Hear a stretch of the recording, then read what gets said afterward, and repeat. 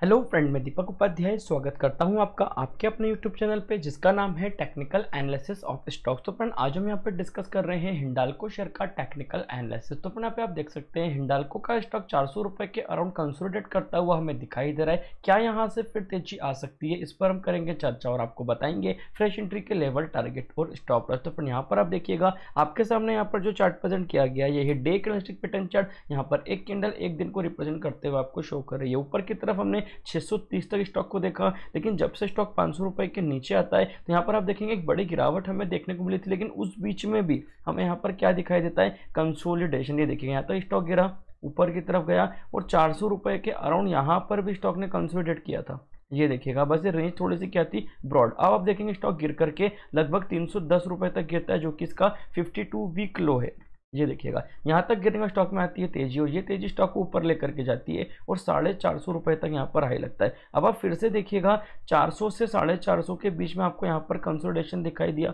गिरावट हुई, स्टॉक नीचे आता है, कहाँ तक? तीन सौ साठ रुपये तक। तीन सौ साठ तक गिरने के बाद स्टॉक आपको फिर से ऊपर की तरफ़ जाता हुआ दिखाई देता है। और यहाँ पर अगर आप देखें तो एक बार फिर से लगभग तीन सौ अस्सी रुपये के आसपास आपको यहाँ पर सपोर्ट लेता हुआ दिखाई दिया। ये देखिए, इसके पहले भी इसी रेंज में 380 के आसपास हमें दो बार सपोर्ट यहाँ पर देखने को मिले थे। यहाँ से स्टॉक फिर तेज़ी से ऊपर की तरफ़ गया। ऊपर कहाँ तक की तेज़ी आई? चार सौ तक की। यहाँ पर एक हल्की गिरावट के बाद स्टॉक फिर ऊपर की तरफ़ जाता है। ये देखिएगा। अब यहाँ पर आप देखेंगे जो सपोर्ट जनरेट हुआ है, कहाँ पर हुआ है? रेड लाइन जो कि कौन सी लाइन है? 200 दिनों के एक्सपोनेंशियल मूविंग एवरेज की लाइन यहाँ से स्टॉक में फिर गिरावट हुई और इस गिरावट के साथ ही स्टॉक आप यहाँ पर देख सकते हैं फिर से।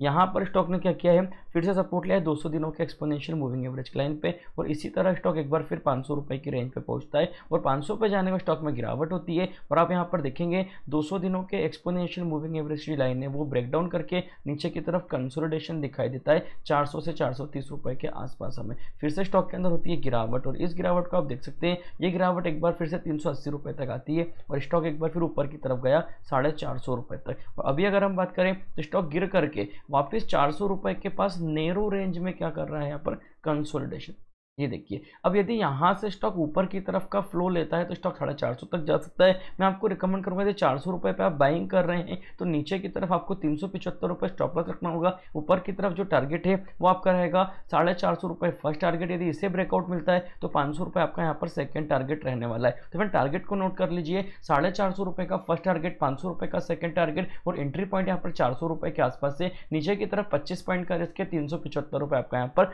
स्टॉप लॉस निकल करके आएगा। स्टॉक फंडामेंटली स्ट्रॉन्ग है। ऊपर की तरफ़ अगर चलता है तो डेफिनेटली आपको पाँच सौ तक के टारगेट बहुत ही जल्दी देखने को मिलेंगे। लेकिन किसी भी एंट्री के पहले आपको रिस्क को समझ करके यहाँ पर एंट्री करना होगी। तो क्वांटिटी का जो आपका पैरामीटर रहेगा, उसमें आप ये बात का ध्यान रखिएगा कि तीन सौ का यदि आपका स्टॉप लॉस आ जाता है, उस केस में आप यहाँ पर क्या करेंगे? तो फ्रेंड ये था हमारा टेक्निकल व्यू हिंडालको शेयर को लेकर के, जिसमें लगभग 25 से 30 पॉइंट का स्टॉप लॉस है। यदि उतना लॉस आप बियर कर सकते हैं डेफिनेटली यहाँ पर एंट्री करके ऊपर की तरफ़ साढ़े का फ़र्स्ट टारगेट और पाँच रुपए का सेकंड टारगेट रख करके आप यहाँ पर एंट्री कर सकते हैं। तो फ्रेंड यहाँ पर करेंगे वीडियो को फाइंड अप वीडियो अच्छा लगा है तो लाइक करके इंकरेज कीजिएगा। फ्रेंड्स के साथ शेयर करना बिल्कुल भी ना भूले। Thank you so much for watching this video